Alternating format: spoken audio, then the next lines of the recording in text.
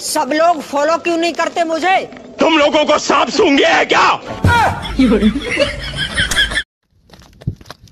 अरे भैया ये कहाँ जा रहे हो यार? अरे छोड़ो यार। अरे बताओ तो सही। अरे घर में फ्रिज खुला है यार बंद करने जा रहे हैं यार।